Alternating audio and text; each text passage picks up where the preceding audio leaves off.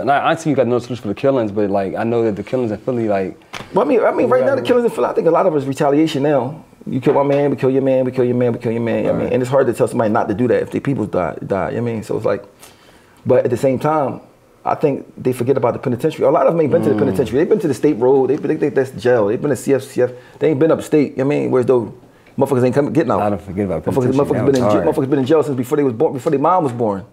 You I mean? That's still in there. That's what that was young. I mean, I'm talking about. I was, I was in jail, uh, Dallas prison, state prison, uh, Pennsylvania. It was. Uh, oh, he was in this in 1952, man.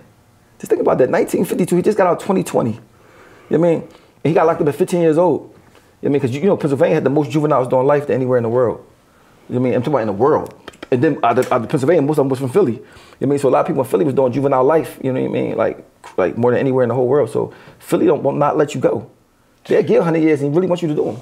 You know what I mean? You, but put it this way, if you get, if you get 50 to 100 Yeah, years, right? funny, but that's. If you get 50 to 100, most states you can get early release and early stuff. Pennsylvania, if you got 50 to 100 years, you can't see parole till you do 50 years. If you got like the June of 1950, you can't see parole to June. I mean June 2000. You know what I mean? That's that's just what it is. They not. You know, you- that's it. You know what I mean? That's the low. The less time you can get out is 50 years. You know what I mean? Mm. So like that don't make a motherfucker chill. And, and, you, and you, listen, you're not getting no conjugal visits. It's not no New York got that. We don't got that. You'll never see a girl again. You'll never touch a girl. I mean, so like that. That alone, if you 20 something, you still want to take a risk shooting somebody and go to jail for life when you 20 something. You ain't gonna get no ass forever. You might live to be 80 because you gonna be going to sleep at nine o'clock. You know what I mean? Working out and shit. Wow. 60 years without no ass. Hey man, be, I mean, do what you gotta do, man. That was it. That was the solution right there. Yeah, Thinking man. about the, the, the prison part, it gotta be worth that.